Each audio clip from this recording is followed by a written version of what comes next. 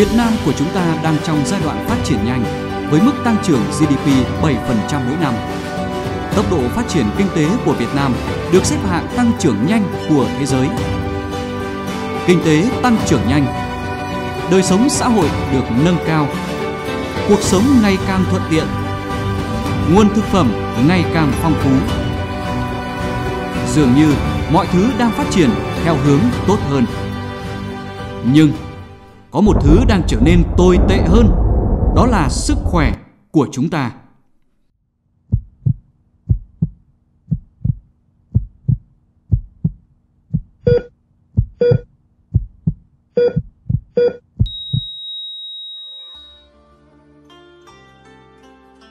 Do đó, người Việt Nam bắt đầu quan tâm đến chăm sóc sức khỏe.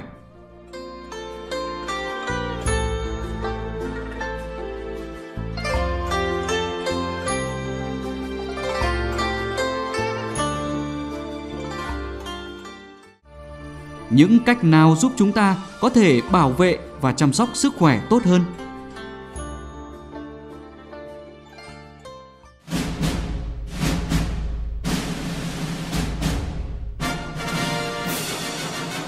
Năm 2017, HB ra đời một hình thức dưỡng sinh mới để chăm sóc sức khỏe tại Việt Nam.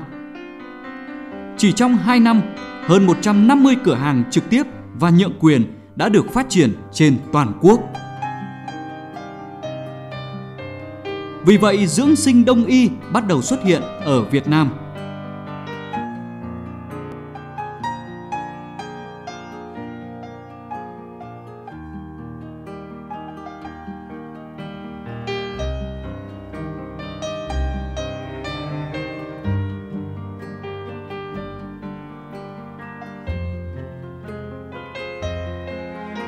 Đây là sản phẩm bắt nguồn từ y học cổ truyền phương Đông. Với hiệu quả mà nó mang lại, dưỡng sinh đông y ngày càng được nhiều người lựa chọn để giải quyết các vấn đề về sức khỏe. Điều gì làm cho dưỡng sinh đông y rất phổ biến ở Việt Nam? Đầu tiên là hiệu quả.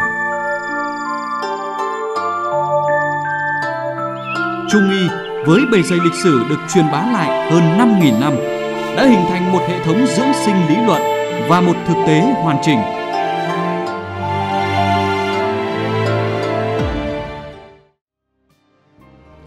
Chỉ trong 2 năm, chúng tôi đã giúp hàng chục ngàn người giải quyết các vấn đề về sức khỏe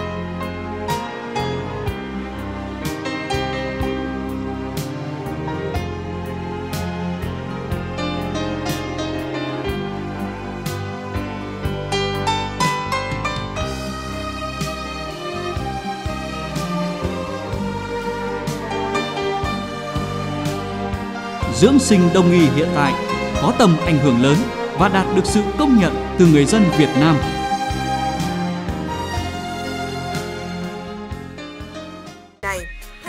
Thứ hai, đây là nhu cầu của thời đại. Đầu tư nhượng quyền là một quyết định sáng suốt bởi chính những lợi ích Khi bạn càng có điều kiện, nhu cầu chăm sóc sức khỏe của bạn càng cao.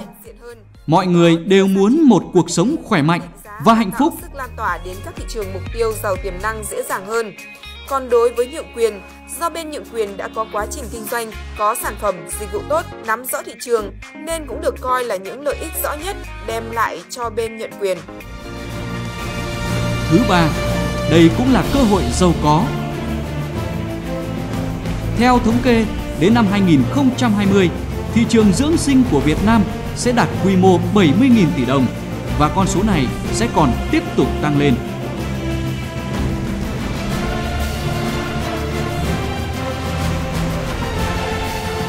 Tương lai đang đến, vậy chúng ta cùng đi. Hãy tham gia cùng chúng tôi. Chúng ta cùng nắm bắt cơ hội giàu có. Cùng chia sẻ cái bánh lớn 70.000 tỷ đồng. Tham gia cùng chúng tôi, chúng ta cùng nhau nỗ lực vì một Việt Nam khỏe mạnh. Để mỗi một người Việt Nam đều có được một cuộc sống khỏe và đẹp.